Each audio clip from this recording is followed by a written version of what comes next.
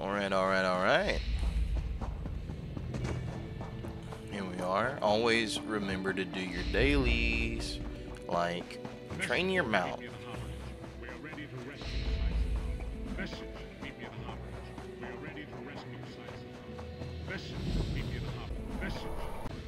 are ready to rescue Sai Sahan. Okay. Are you, are you done spawning on me? Thank you. Message. Failed three times to listen to Varen Aquilarios. What the fuck? I just kept running, dog. I don't move that fast.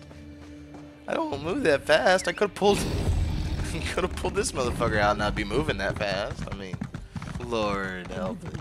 Always remember to do your dailies. I I guess Varen wants us to go save Sai Sahan, so I guess that's what we're gonna go do. Alright, let's go save Sai Sahan. I'm so glad I got that on video. Oh my god. Alright, alright, let's hop in here. Let's hop in here. If I keep having like random stuff happening, you know, I might I might just end up recording and posting the recording instead of going through and editing. I mean shoot. Fuck, I lose a lot of time like just sitting there editing. I recorded like The vestige is going, I'm going 40, 50 minute long clips and I cut them down to 20 minutes. And then I go back and voice over them. I mean, like, granted, would make lo- a lot less progress if I do that. We would make a lot less progress, but it, it just might be worth it for the sake of time. Because, like today, I, I sat down at like eight eight thirteen. That, that that's when I sat down, and um. Oh, I got hit by the spikes anyway. Okay, whatever. But you know, I got home. I had to make sure I had some dinner. You know, I got a pizza cooking in the oven right now. It's supposed to be done in about 10 more minutes. You know, and like I really want to continue making progress on this character because, like I've stated, I love this fucking class. Okay, continue making progress with it. Just feels amazing. So I, I'm like always real happy to just run back into this fucking class, dude. I just as far as the main story of ESO goes, I can always link that in the description, and I think I'm going to for this one. For some people, they do want to enjoy the story, and that's what I want to do for Necrom, but I want to max out this character before I do Necrom DLC. This class just fucking shreds though, dude. I am loving it every single second. I've never, never maxed out a class on PC yet, or else I'd have some champion points to run through. So, Where is the amulet of kings? and as you can tell, I don't have any champion points to run through. So for my first like PC max, They're I would- I would really love for it to be Arcanist, and then do that before starting the actual the DLC. Quickly. Alright, gonna have to talk to Lyris again. While we do that, I'm gonna go ahead and hit my level up. Ooh, daily reward. I will take that. Yes, sir. I am so glad I logged in today. Vestige. Message. Hold a moment. Hold a moment. How about you hold a moment? Because I'm, I'm trying to I'm trying to go through things. I don't think I ever. I can't tell you how many characters I got to level 20 before I got bored with them. They just don't click. When they don't click, I stop. When they don't click. But like me and the fucking Arcanist, dude, I have clicked this whole fucking time. It is unreal. One thing I will say is passives. Oh my god. So, I'm usually not somebody who builds passives when they do a build, uh, unless I'm following a build. And if it says to get it, I fucking get it. But We don't get many with with passives, if I'm building on my own, they're like uh, always room for a they're the last thing to pop into my head.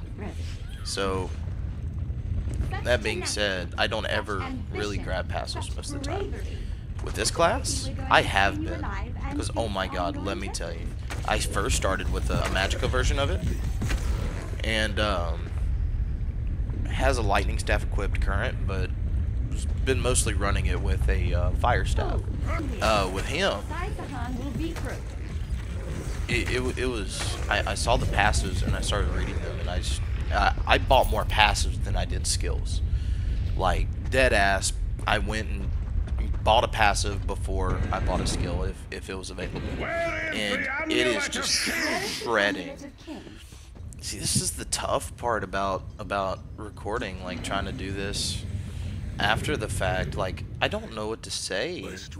I'm sure I'll figure it out, but like, what's funny is this fight here.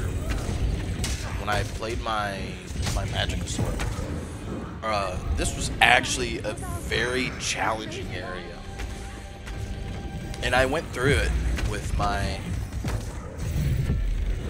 Magica Arcanist, and honestly, it wasn't near as much of a challenge. There's a uh, opponent called a Daedroth. Well, it wasn't a Daedroth, but it was it was like a big version of Daedroth, I guess you could say. It was kind of like Titan, but not Titan. Maybe it was Titan. I'm not too sure.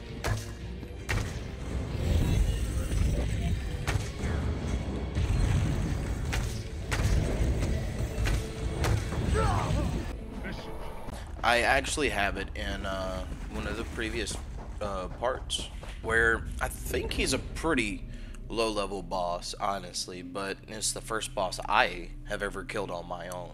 And I did that with a level 18 Magic Arcanist, and I did it again with a level 17 Stamina Arcanist. And honestly, oh, that, that really helped me fall in love with this class, I swear.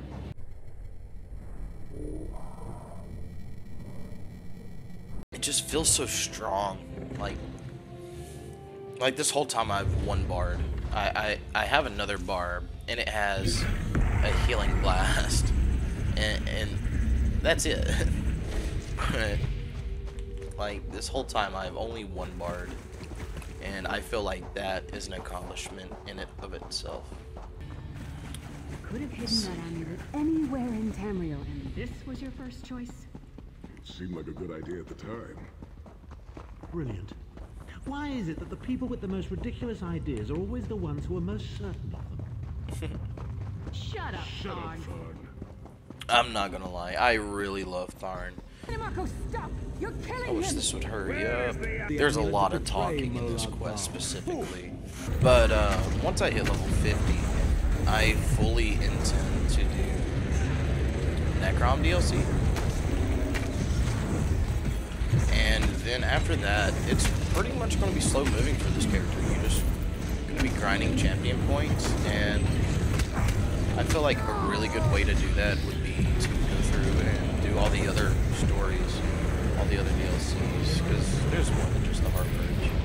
Yeah, I'm, I'm thinking I'm thinking we go back and we do all the DLCs too, because um, one thing I was really wanting is I just wanted to hear like a broad recap of everything. I know the main story of ESO. I I know this Harborage storyline. I know a good chunk of the Elsweyr storyline. That being said, though, I just really want to dive into Necrom because it brought my favorite class so far. Once I beat that, and like I said, we'll do that once we get to level 50. Anything I can do. And once I beat that, then I'll go through and do all the other story I'll be over here DLCs. up my I, I won't I won't be speeding through it like this. I'll, I'll take my time and we'll we'll go through the story together where we can all perceive it. Ah, I fucking hate puzzles. I remember this. I really hate puzzles. Oh my god. And we're good. You did it! The bridge is down. I really fucking hate puzzles. They slow everything down, man. I hate it. Well, I hate it in the terms of like when I'm trying to hurry up and get through something. Should go ahead and clean this. There we go. Ah, there we go. This is a good one right here. So this is gonna be where I really start. I guess you could say uh, bar swapping because his fate woven armor is good, and then we're gonna get down here to where is it? I believe it's this one here. Tome-Bearer's inspiration. Yeah, gets put on your weapons. That's when I'm really gonna start two barring. But for now, one bar is all I need.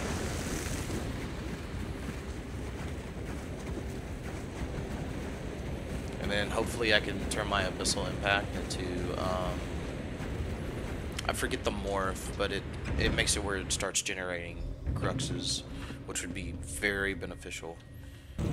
You are nothing. Need to figure out where he goes after this. Yeah, it's done so. Do you really think that death can stop the most powerful necromancer Tamriel has ever known?